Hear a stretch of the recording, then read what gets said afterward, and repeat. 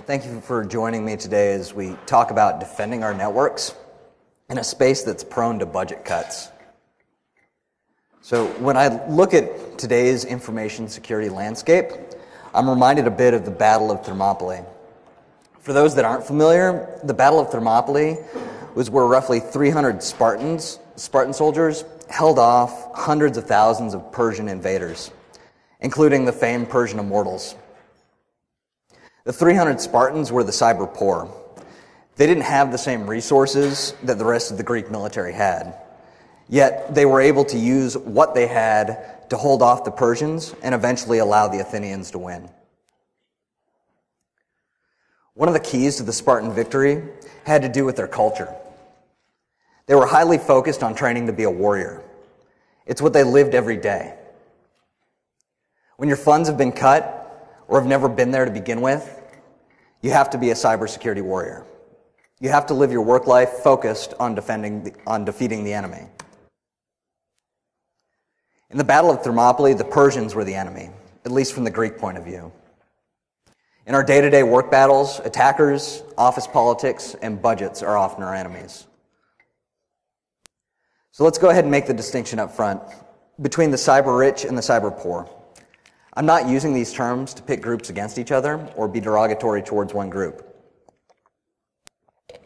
It's just a fact that the Global 2000 and the federal government can afford better security tools and more talent than the hundreds of thousands of other companies out there.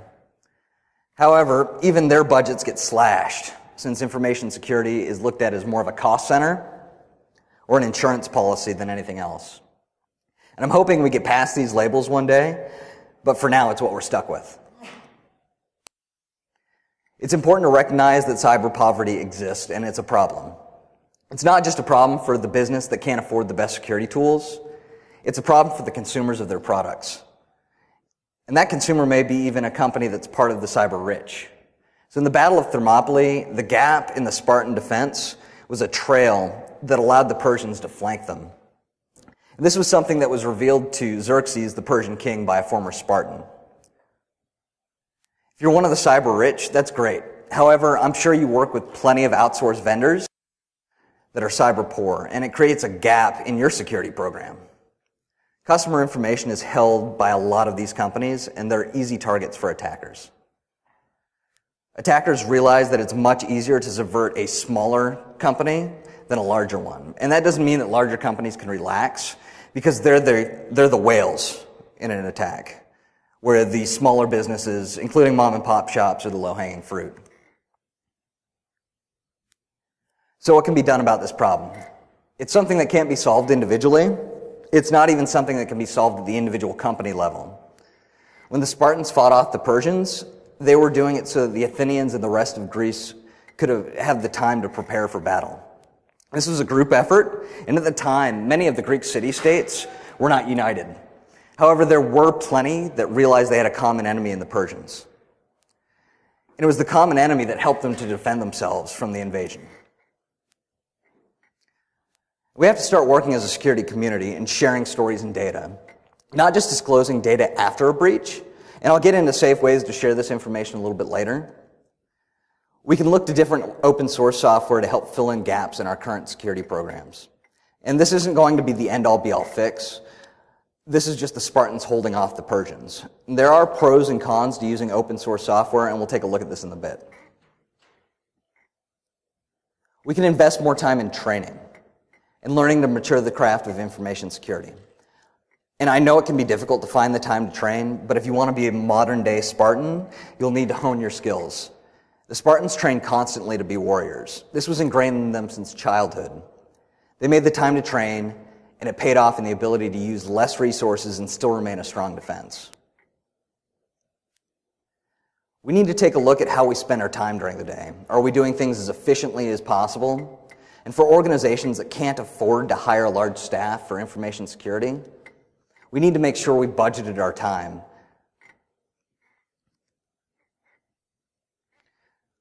We also need to make sure that our process is documented. Again, I understand that this can eat into the time you already have too little of, but sometimes we need to spend the time up front to save us time in the future.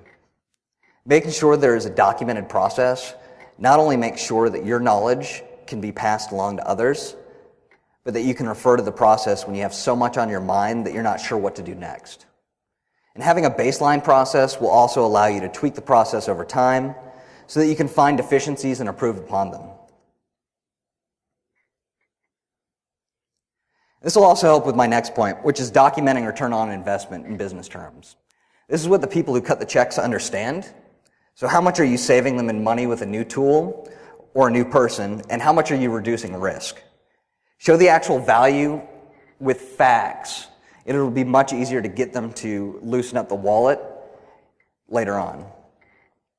And I understand there, this will be a large undertaking for many of you, and it won't happen overnight, so we really have to learn to enjoy the process of setting this all up. Okay, let's start with open, so, open source software.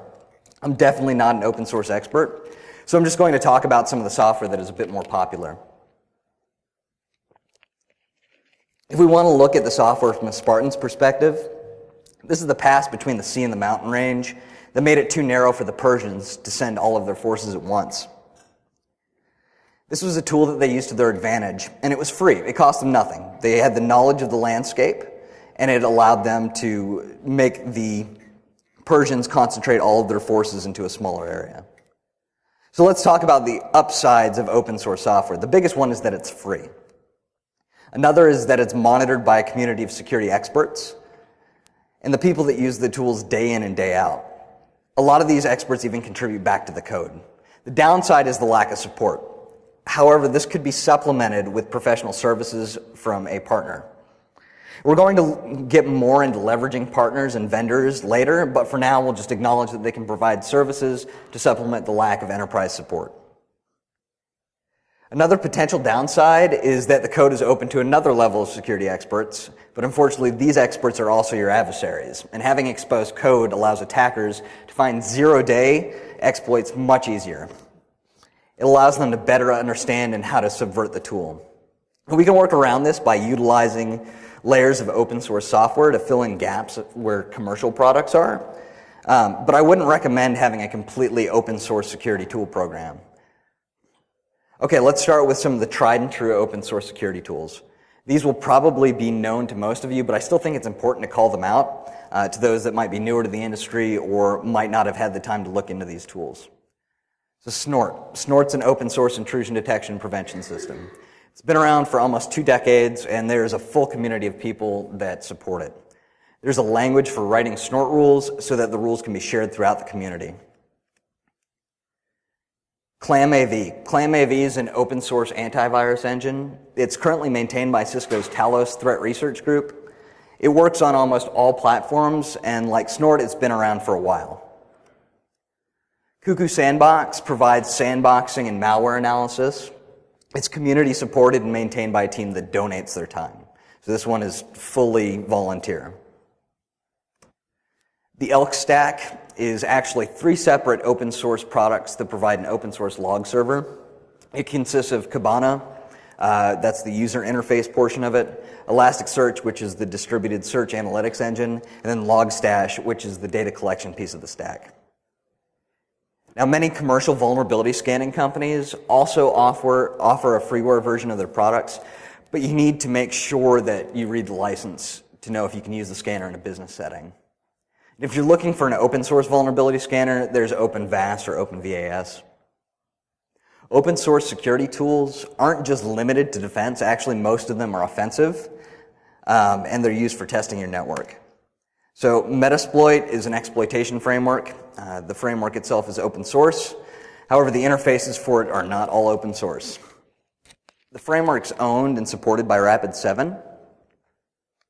They offer a community edition of the interface uh, for this, which is free.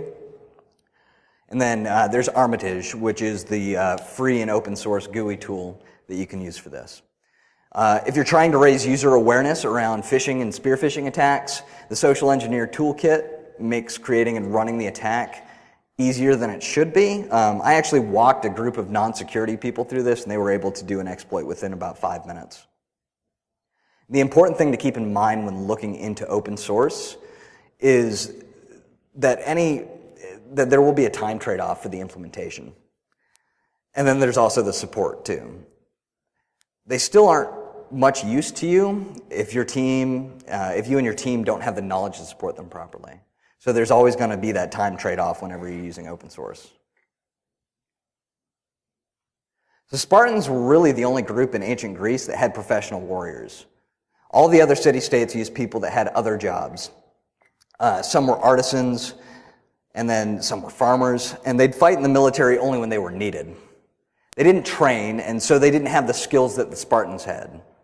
Training was probably the biggest thing that made the Spartans so formidable. They took the time to learn and refine their craft.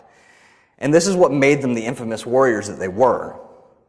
In the same sense, you should take the time to train in your craft.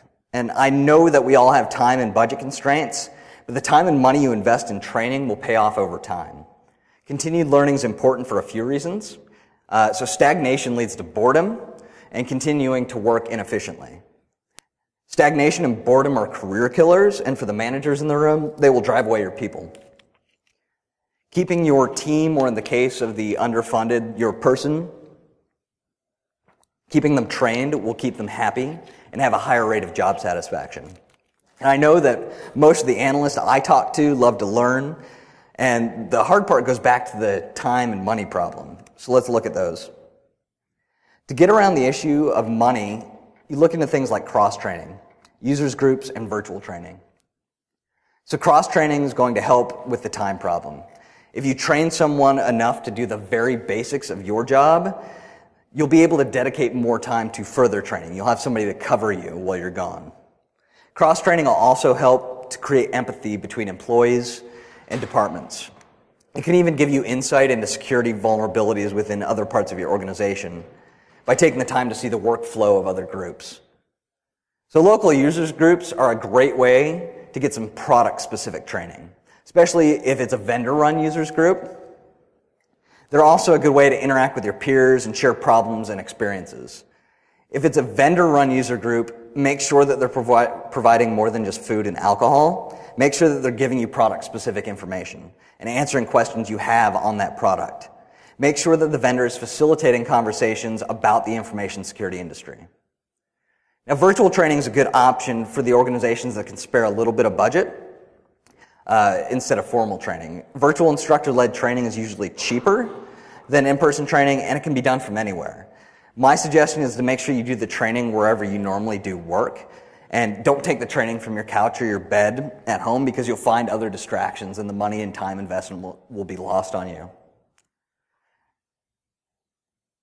So it's going to be able, it's going to be important that you're able to show your employer the return on investment in training and not paying attention can help guarantee that you'll get less or no training in the future. Now, making sure that you're going to quality training that is also the right training will make sure that the time, travel, and monetary investments are, you're making are good ones. So a stock trader doesn't just pick a random stock and then invest in it. They research the stock to determine if it's worth the investment. You should do the same with training. So with budget, time, and travel all being considerations, your ability to justify the expense of all three of these will be important to getting future training. This justification starts with researching the training ahead of time. Uh, however, before researching, we might want to identify some metrics. These metrics are going to vary, but we can look at, at some of the questions that might help you determine them. So, what skills are gained from the training? Will those skills increase efficiency? Will those skills make you better at your job? Will those skills help with future projects and plans for your organization? What's the expected impact to job performance? How will this training save future time and money? What will your return on investment be in both time and money? When you're considering registering for training, you want to be, you want to have some questions in mind to help determine if the training is right for you. And some of those questions may look like, who are the instructors? Do they have a good reputation? Are they known for being able to convey information easily and effectively, or do they put their audiences to sleep? What do others say about the course? Are you able to find any reviews online that discuss the instructor or the course itself? Do other people that have taken the course find that the information that they've learned is valuable? And was it worth their return on investment? Does the course line up with any certifications? If the outcome of the course is to have you ready to take a certification, how will this apply to your job or your personal brand? Are they teaching just for the certification, or is it going to be information you can put into practice as well? And then what are the sources used for creating training? Where are the course developers getting their information from? Is it, if it's just from experience, what does that experience look like? Unfortunately, experience can lead to anecdotal evidence, and this isn't always the case, but it's something to keep in mind. There's always going to be a time problem. I know that all of you already have a busy enough schedule, but taking the time to train can help you be more efficient at what you do. It can help save future time. Think of it as making an upfront investment in time, kind of like taking the time to do a proper setup and documentation of your security tools. If you still aren't convinced that you have the time, please just put that aside for one course, take the course, come back and see what you really missed. I'm sure the company will still be running in most cases. I'm sure the building will still be standing. A lot of people complain about not having enough time for their job. And I believe for the most part that is true. But I also think it also has to do with a lot of inefficiencies. People either spend too much time on the wrong things or they get sidetracked going down rabbit holes. If you really want to know where your inefficiencies lie, you're going to have to be honest with yourself. You'll have to determine where your strengths and weaknesses are. You're going to make a list if this helps. So if, if you can't just sit down and think about it, you want to create a list of this. Focus on doing your strengths and improving or delegating your weaknesses. Monitor the amount of time you're spending on different tasks. Stopwatch it or use software for tracking if you have to. Then do this for a few days and then review the information you've collected. I know it feels a little odd to be talking about workflow and finding ways to improve efficiencies at a security conference, but I feel like this can help toward reclaiming time and help the security industry as a whole. Because when you're working in an understaffed role because your organization can't afford to hire more people, time becomes very important. That's why we're going to divert here for a minute and talk about finding workflows and ways to become efficient. I strive to be super efficient because I understand how valuable time can be. For my job, I do a lot of travel, and when I'm home, I'm often working. However, I have a wife and two young children that need me to be present. This is why I value my time, and this is why I try to use the most of it and get things done as efficiently as possible. So here are the few, a few of the things that I do to try and reclaim my time. First, I want to dismiss the notion of multitasking. No one can multitask well.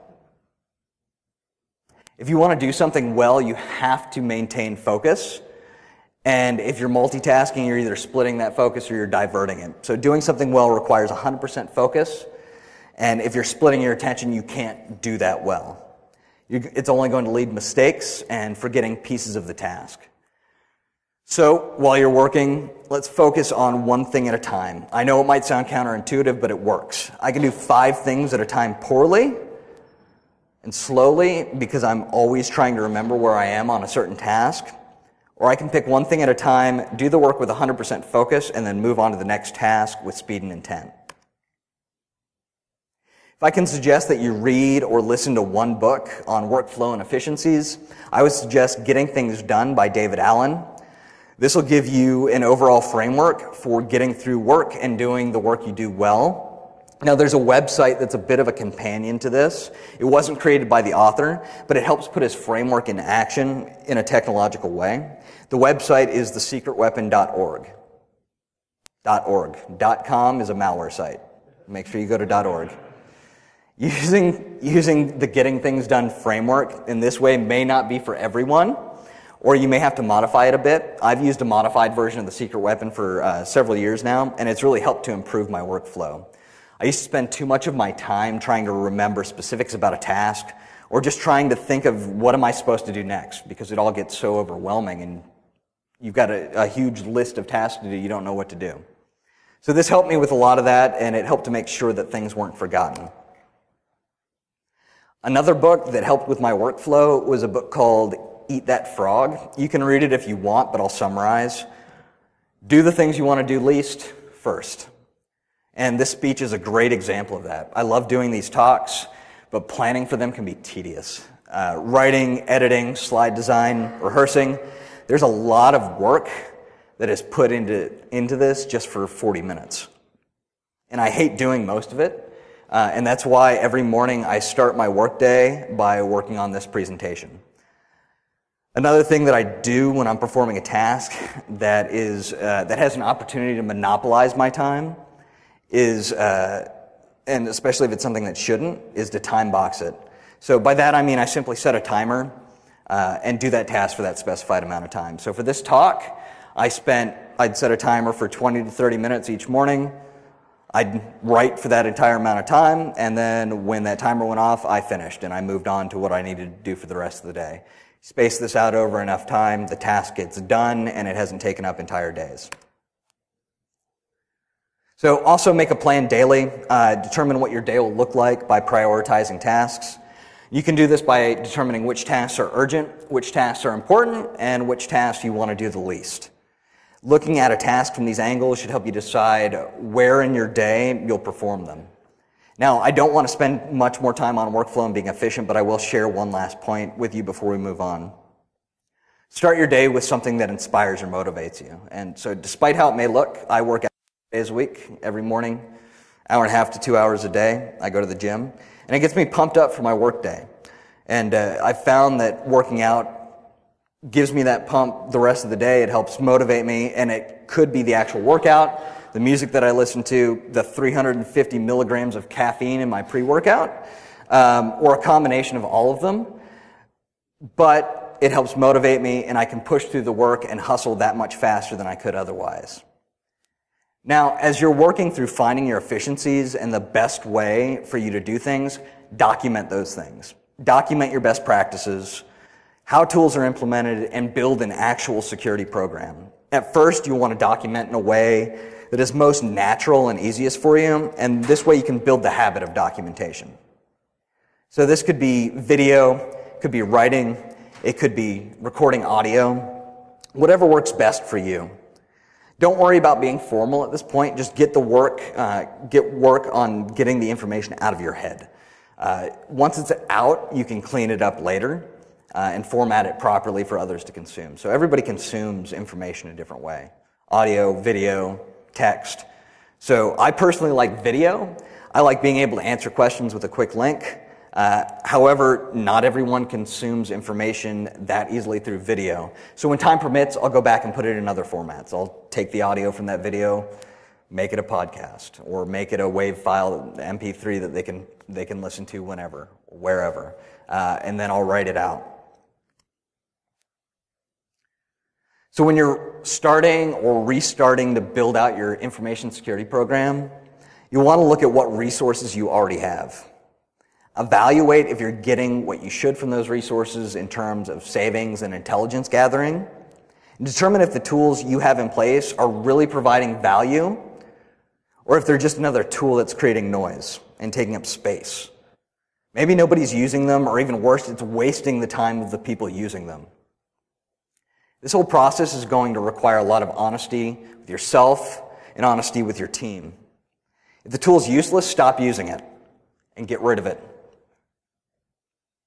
If you think that the tool is useless now, but with a bit more tweaking or tuning, it could really help, then salvage it by dedicating some professional resources dollars towards it. Again, this takes real honesty. Don't throw good money after bad to try and fix a poor decision or save face. This can save money in terms of technological resource use, licensing, or maintenance fees, or time spent not only using the tool but maintaining it. I know it can be hard to admit that an idea someone had at one point may not be good anymore. And it might have been good at a certain point in time, but businesses evolve over time, security programs evolve over time, threats evolve over time, your tools are going to evolve over time. So once you've evaluated what you already have at your disposal, identify the gaps. By the way, you should be documenting all of this. You'll need to justify the changes. You'll need to explain risk. You'll need it to explain return on investment. You'll need it for cross training and onboarding.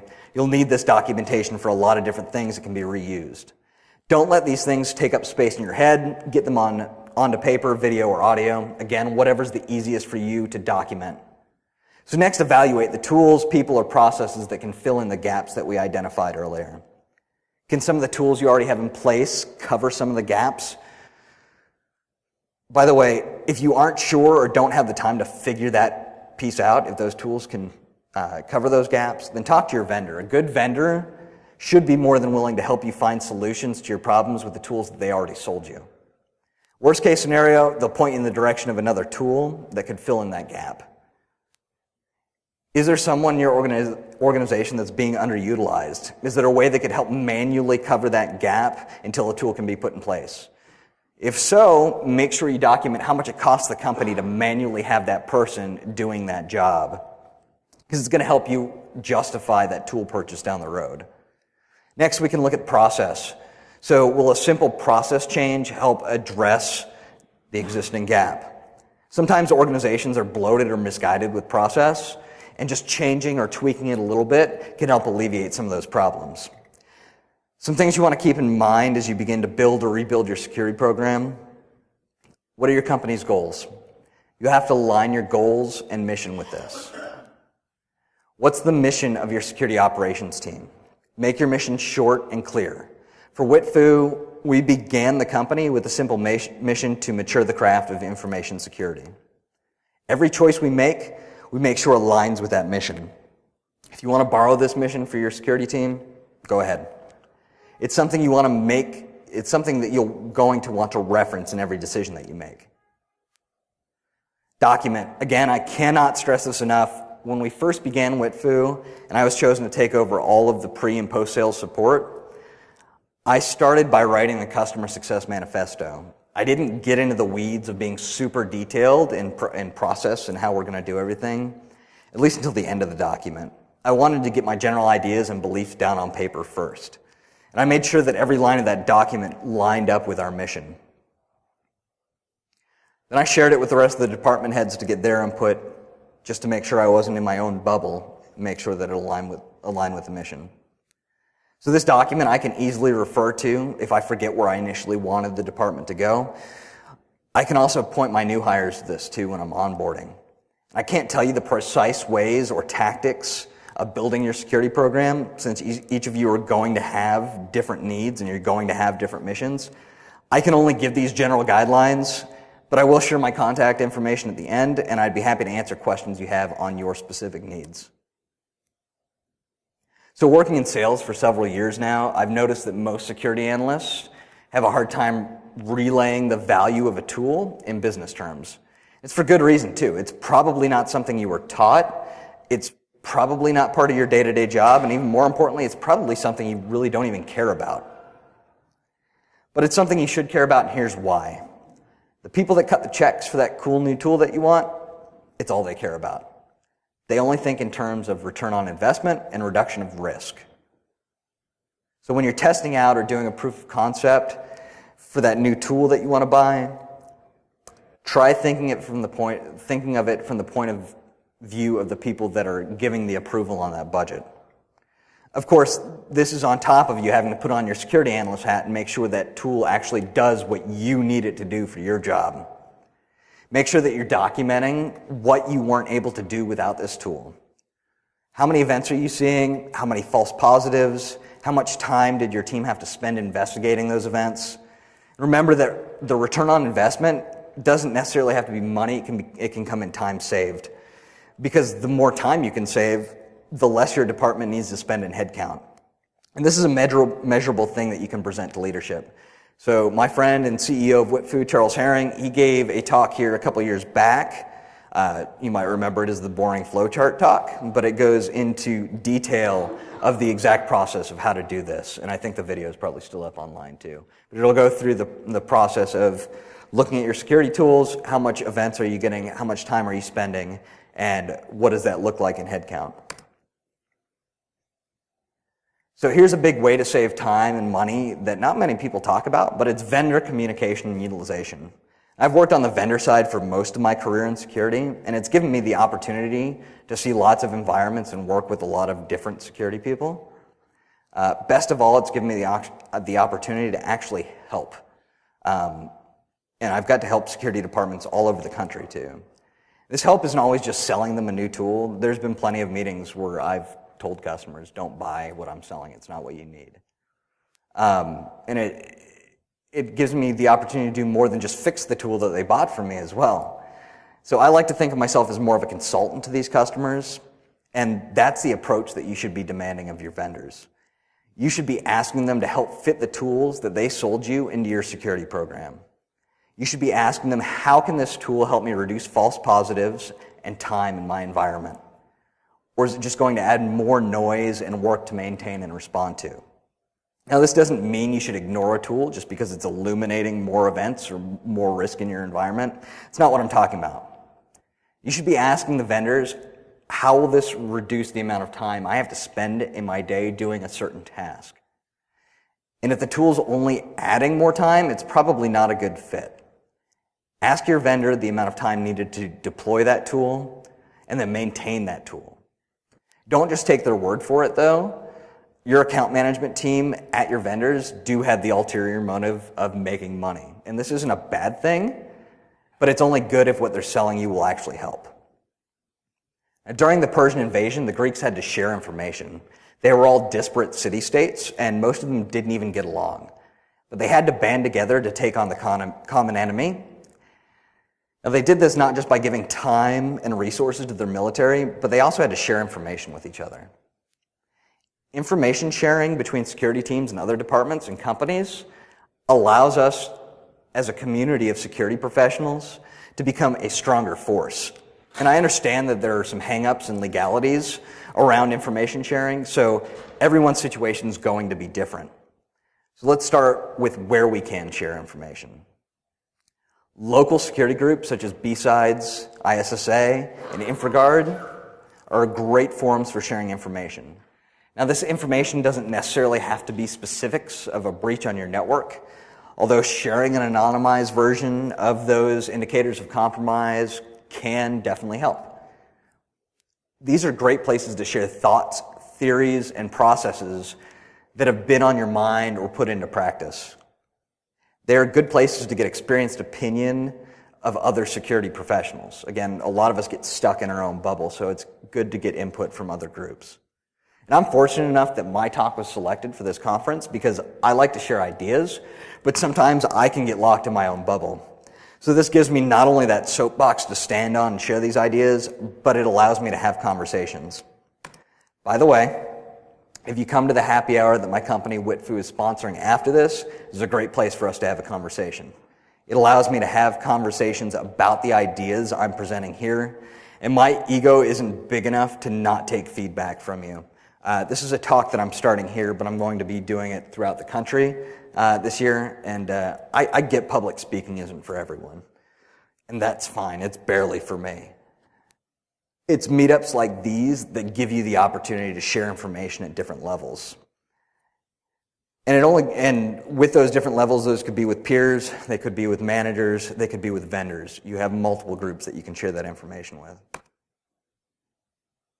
So at WitFoo, we work with a law enforcement advisor who's a LAPD major crimes detective. He's been doing that for a long time. He and I have discussed how in law enforcement they share information, not just in ongoing investigations uh, to help find or prosecute suspects, but also to keep each other safe. They call the safety aspect of this the pre incident indicators. This would be what it would look like if you had a bird's eye view of a police shooting.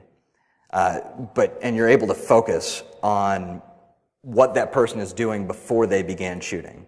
What does their body language look like? How did they position themselves? Where did they move? By sharing this information with each other, law enforcement officers are able to reduce their risk in the future. In IT security, we have the benefit of being able to record all of the pre-indicator events. This would be like the reconnaissance or delivery of an attack.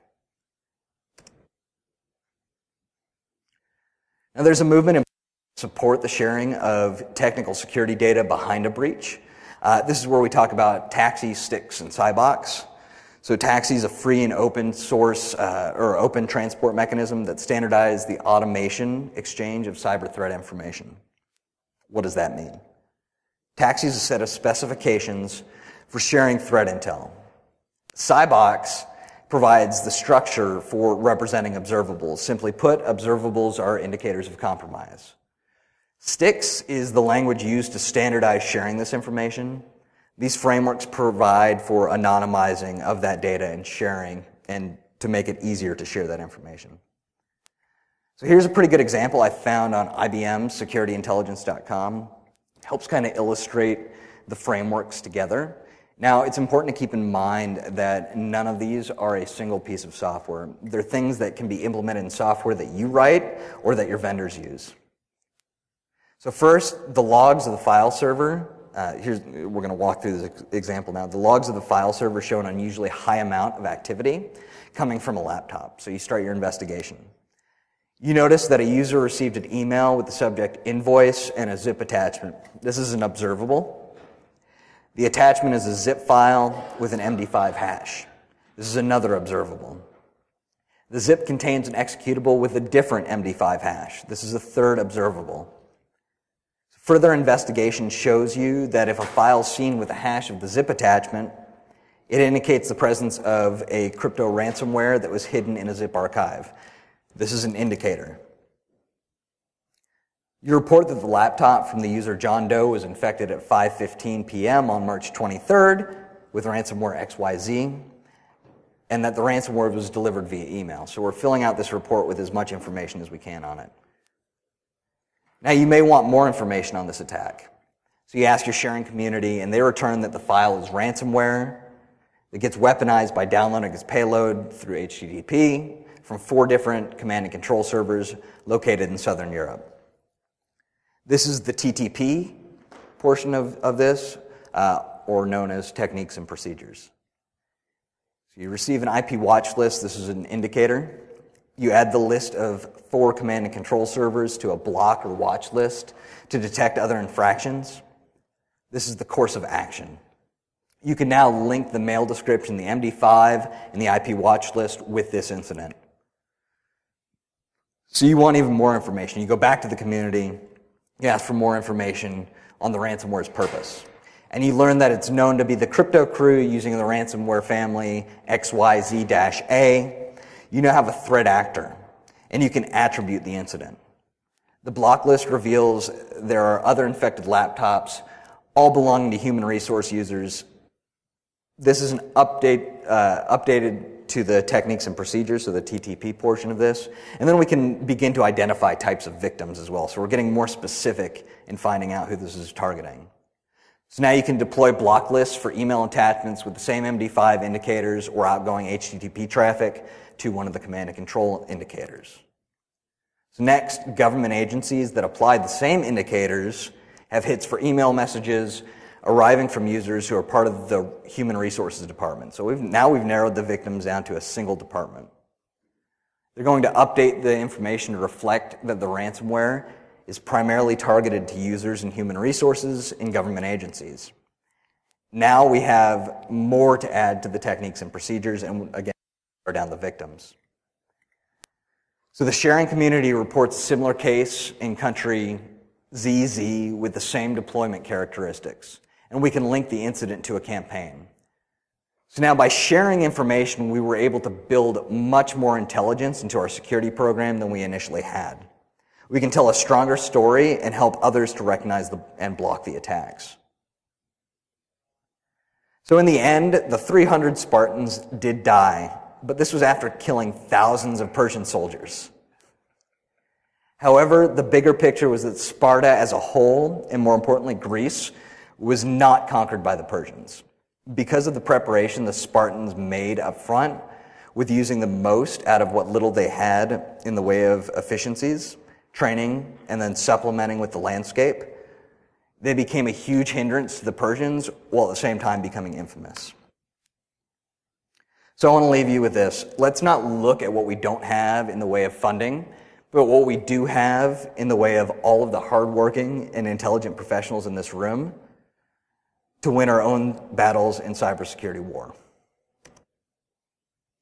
So please feel free to reach out to me on Twitter with the handle detected anomaly or email me, keith at witfoo.com.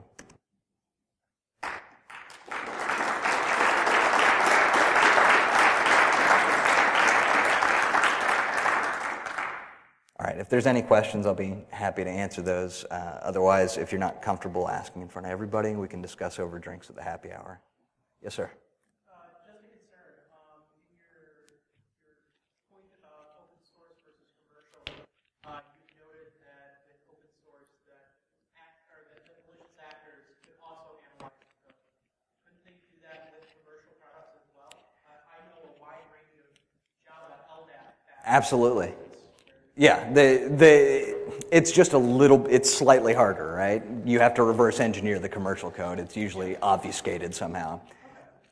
That, I, you're absolutely right, though. With, with commercial software, that could, be, that could be exploited as well. It happens all the time. Any other questions? All right, great. Thanks. I'll give you guys 10 minutes back then.